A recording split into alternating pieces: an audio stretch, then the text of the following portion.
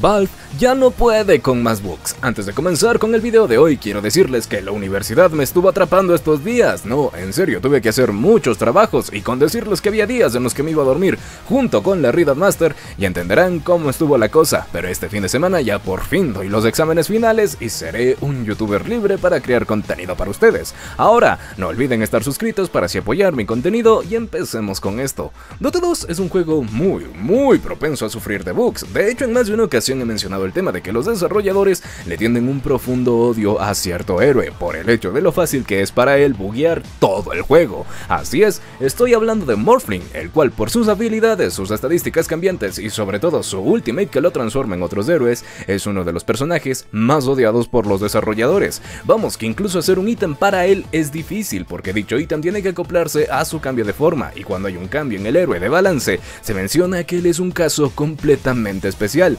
porque a diferencia de otros héroes, con Morphling tienen que revisar que dicho cambio no afecte a su capacidad de transformarse en algunos otros héroes, cosa que ya ha fallado en el pasado en otros parches, donde por ejemplo Morphling podía transformarse en Invoker y tener prácticamente daño infinito, o otra donde hacía de la segunda de Alchemist una habilidad pasiva. Estas interacciones hacen que Valve odie completamente a este personaje, pero vamos, que en general Valve odia que aparezcan bugs en su juego, pero el día de ayer se dijo algo increíble, y es que Valve está ocultando bugs por su propia cuenta, sí, así como lo escuchas. Valve el día de ayer por medio de su foro web dio a conocer que conoce sobre la existencia no de uno, sino de varios bugs dentro del juego, pero que muchos de ellos son interacciones imposibles o muy muy muy muy difíciles de hacer para el jugador, así que para que solucionar un bug que quizás jamás pueda hacer la comunidad, y el plan maléfico de Valve era ocultar la existencia de estos bugs hasta que la gente los reporte y allí sí puedan hacer algo, pero entonces mi querido mago te estarás preguntando,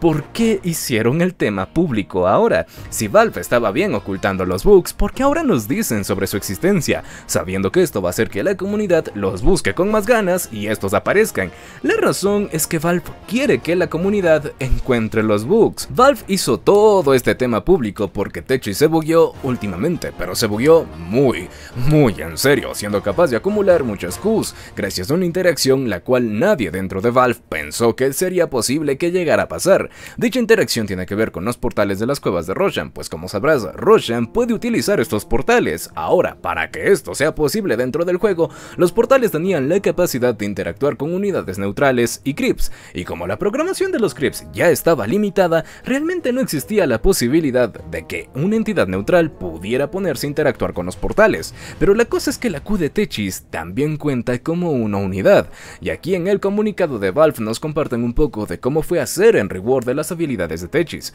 para comprender un poco qué salió mal y en pocas palabras que la gente pueda entender y dejándolo simple, básicamente lo que hicieron fue tomar la antigua mina verde de Techis y reprogramaron esa mina para que ahora sea su Q, pero si recuerdas las antiguas minas verdes de Techis, estas eran una unidad la cual sí tenía poderes, el poder de la detonación a distancia, dicha habilidad estaba programada para poder interactuar con el jugador, pero como la nueva Q de Techis no requería que el jugador interactuase con ella, simplemente Valve lo que hizo fue ocultar la habilidad, y dato que es de suma importancia, la nueva Q de Techis está programada con un contador en regresiva que se detiene cuando la mina se pega un enemigo, de allí con una nueva cuenta empieza a explotar, pero así es como está programada para funcionar dentro del juego. Ahora, en este punto Valve admite que sabían que la mina podía llegar a buguearse con una estructura, pero para solucionar esto se les ocurrió que la mina únicamente tendría como objetivo a unidades de héroe, y ya con esos cambios sacaron en reward de Techis. Pero en la 7.33 con la expansión del mapa ocurrió algo que nadie pensó dentro de Valve,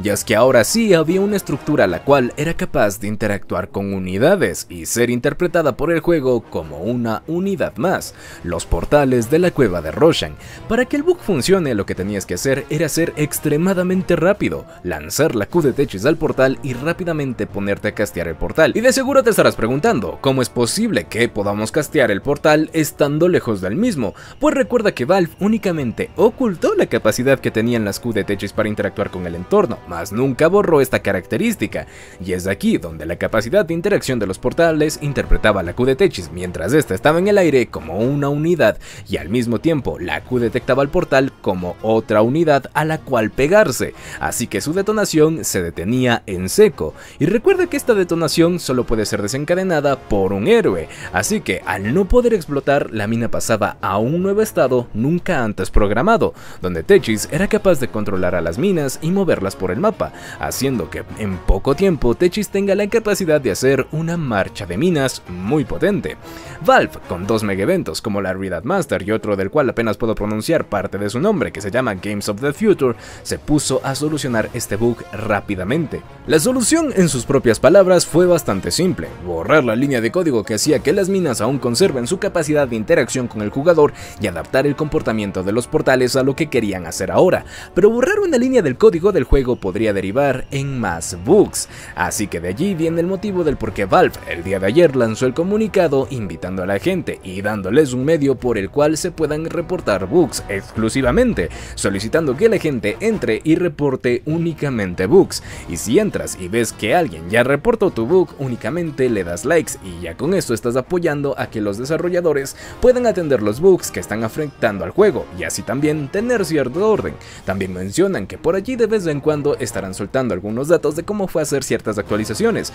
explicar cómo explicaron el bug de Techis el día de hoy, pero en un portal exclusivo para esto. Muchos aseguran que la web ya existía desde antes y esto es verdad, ya que navegando en la web encontré reportes de hace un año donde se detallaban algunos bugs, pero esto es bueno, ya que quiere decir que Valve ahora quiere que la comunidad verdaderamente se exprese, de allí que lo hicieron público y pidan que la gente se una a esta nueva web. Pero aún así lo sorprendente es la cantidad de reportes que ya en un comunicado reportaba la web, ya que un desarrollador mencionaba en este comunicado como para el punto donde él estaba escribiendo ese mensaje en concreto, había más de 596 reportes de bugs, de los cuales apenas habían resuelto 14. Pero aún así, él agradece que la gente se tome su tiempo en crear un reporte de bug, pues así él puede tener cierto orden, tener una organización en saber cuál bug va a atender y después qué otro bug va a atender. Los desarrolladores son completamente honestos y dicen que Dota 2 jamás estará 100% libre de bugs, pero que en mayor medida ellos intentan que el juego vaya lo mejor posible.